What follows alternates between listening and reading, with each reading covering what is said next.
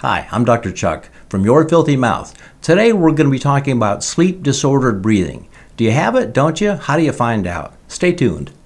Your smile is beautiful and possibly deadly. Dr. Chuck is here to tell you how your mouth can hold the key to your overall health. Now, about that filthy mouth of yours. Hi, I'm Suzanne Lynn. I'm here with Dr. Chuck, and uh, we are here on Your Filthy Mouth to talk about specifically what's happening in your mouth and how it can be affecting your overall health. So, today we're going to be talking about sleep disordered breathing, thus low understanding people will call it sleep apnea or you know well we don't know if it's sleep apnea yet that's a different thing that's a different thing all right, well, we're okay. going to get into that. Yeah. Hang on a second. We, we need to encourage our friends to subscribe because we don't want you to miss an episode. So just hit the subscribe. We really appreciate it. That way you'll know when a new episode comes out. So, okay, so let's get into the sleep disordered breathing. Right. Okay.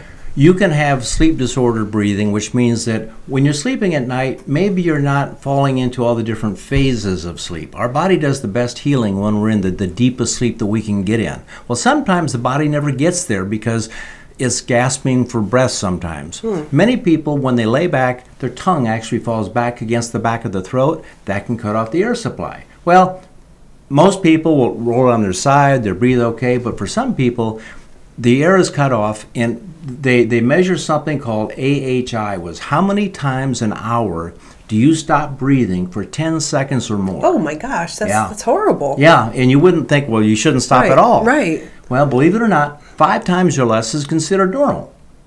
You can stop breathing for 10 seconds or more, five times or less, and you're pretty normal. Wow. Okay?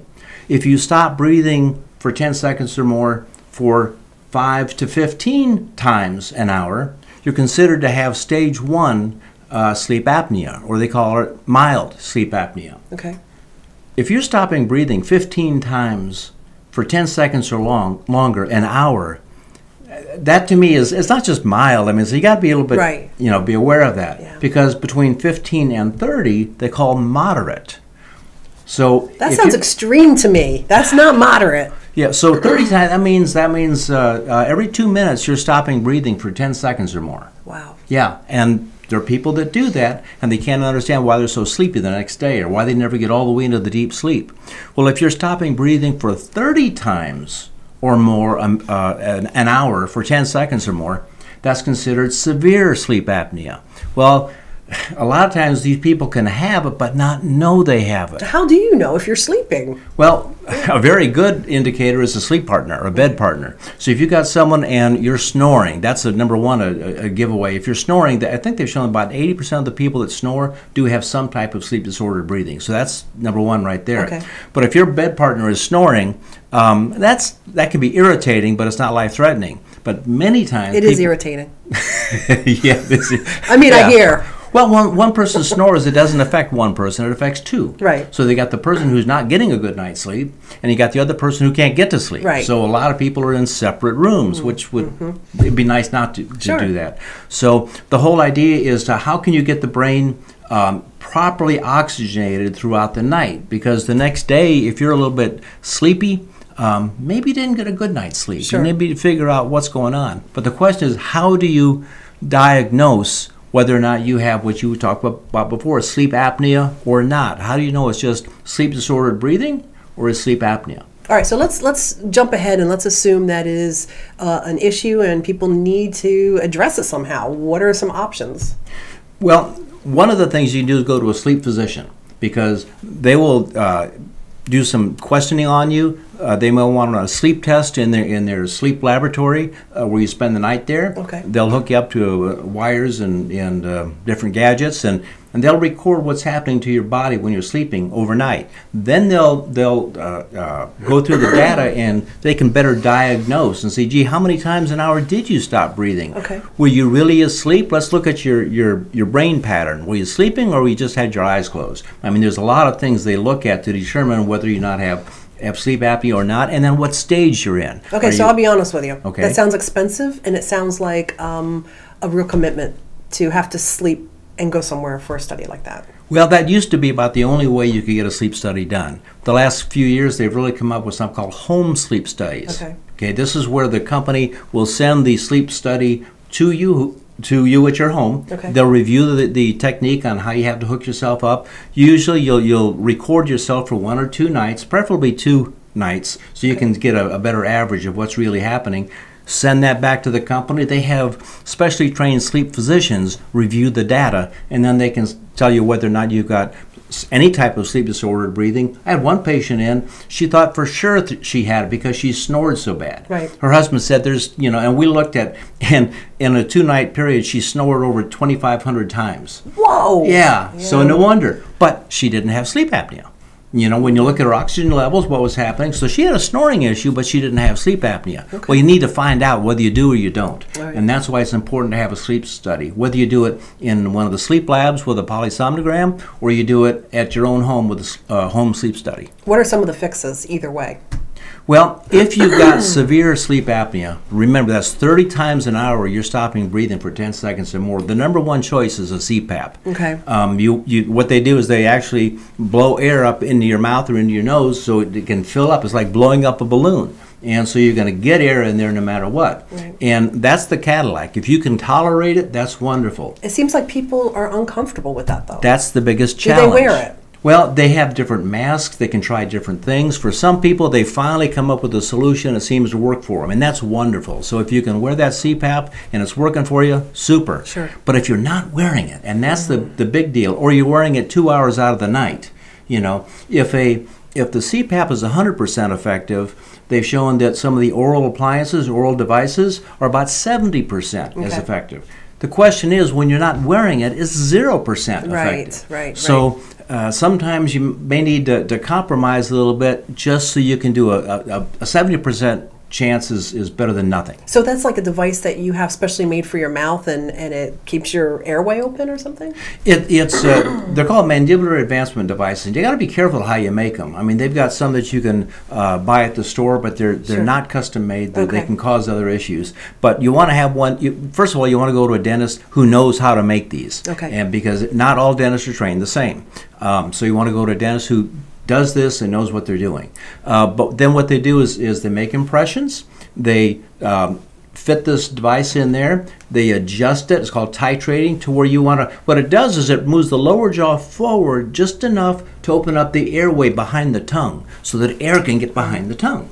Because if the tongue is slapping against the back, air can't get through. If you gotcha. bring that jaw forward, the tongue is going to follow, and it opens up that airway, and you're breathing. So if you're not wearing it, find out what is going to work for you basically. Right, exactly. right? Yeah, yeah. So, I mean, the CPAP is, if you're going to do it, great. Um, if you're not going to wear it, oral device is, is uh, plan B.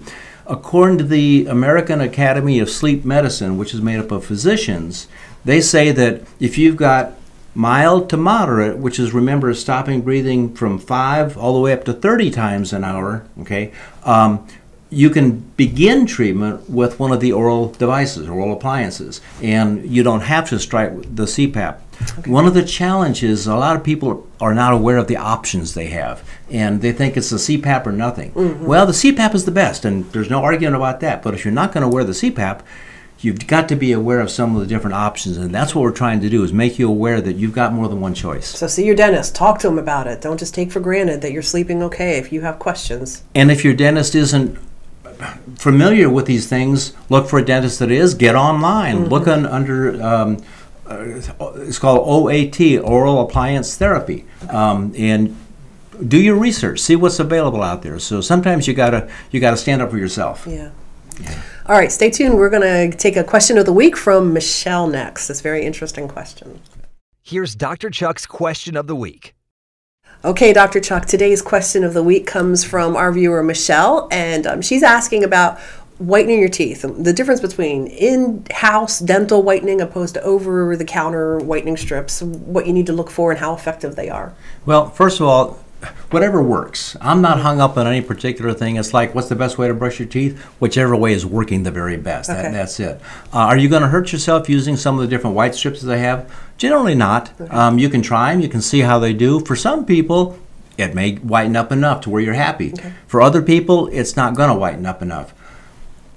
all teeth are not the same. All enamel is not the same. You had different things to eat when you were growing up. They're not everything formed the same. So some pe- teeth will lighten really nice. And some coffee teeth won't, right? Well, you can get the coffee stains off. Okay, you, know, you can get that off. But we're not all the same. So on some people, you're going to get a really good job. On other people, not such a good job. So the people who not such a great job with over the counter, does that mean they're needing to do in-house in dental whitening? When you do the dental whitening in the office, the percentage of the, the uh, different whitening gels we're able to use is a little higher because we put a protective barrier on your gums so it doesn't touch your gums. So we can use a little little stronger gel on that, and uh, it takes takes a little while. You can't really do this at home. Right. Um, does it work better than, than the other? On most people, yes, and that's why I can't give someone a guarantee. You know, your teeth are going to go from here to here. Well, it depends on the makeup of that tooth. I've had some people go from here to here. I've had other people go from here to here. Okay. And no matter what whitening system you use, you may go from here to here, but they're all going to rebound a little bit. They're going to back up just a little bit. Okay. And that's why many of them give touch-up pens or some other Oh, things sure. where you can lighten them back up again. All right. So, Michelle, good question. Um, Yeah. If you go to yourfilthymouth.com and you ask a question, you can write it in. We prefer if you go ahead and uh, click the record button. And if we use your question, Yep. we're going to order some cool coffee mugs, Yeah. uh, Your Filthy Mouth coffee mugs, and we'll send one to you. So, all right, Dr. Chuck, today we talked about sleep disordered breathing. Right. I just want to go right to sleep apnea, but that's you educated us that's not the proper term because there's different stages. You don't know. What are the three takeaways from today? well, number one, you want to get diagnosed. Okay. You want to find out if you do, if if there's even a chance that you might have it. Uh, you want to get diagnosed. Um, I had a buddy of mine, 37 years old, didn't wake up, Mm. and his wife sent the kids and go wake up, Daddy. He's sleeping too late. Well, Daddy was gone. Sad. And this is, is horrible, but that's reality. So number one, get diagnosed. Number two, if they tell you to wear a device, wear that device. If it's a hmm. CPAP, whatever it is, wear it. And but number three is if you're not going to wear it, go for your options. Go get get something in there because um, not only does it affect you know death is the ultimate on Sure. that, but the way you feel the next day, falling asleep at the wheel, getting drowsy. You just I never can wake up during the day. you Your know? partner. Yeah. Well, thank you. yeah, right? yeah. So uh, these are these are a lot of reasons. So one of the biggest things is high blood pressure. People are on a couple of medications. It's hard to get the blood pressure under control. A lot of times it's because they're not sleeping well. And that heart, when you're not getting the oxygen in there, their heart is going boom, boom, boom, boom, boom, boom, boom. It's really trying to keep you alive. So, Wow. yeah, we're putting quite a stress on the cardiovascular system. All right, this is pretty serious stuff. We want you to share this Yeah. information with your friends and family, um, and also subscribe. Make sure you don't miss any of the episodes of Your Filthy Mouth. And uh, thanks for coming over. We're going to uh, have some cool episodes next week, so stick around. Yeah, looking forward to it. Have a great day. This has been Your Filthy Mouth, a weekly podcast about how what happens in your mouth affects the rest of your body. This is important information, so please share it with your friends. Don't forget to hit the subscribe button on YouTube, iTunes, and all the other podcast sites. And drop by yourfilthymouth.com to ask Dr. Chuck a question or find dozens of links to information about oral systemic health. We'll talk to you next week.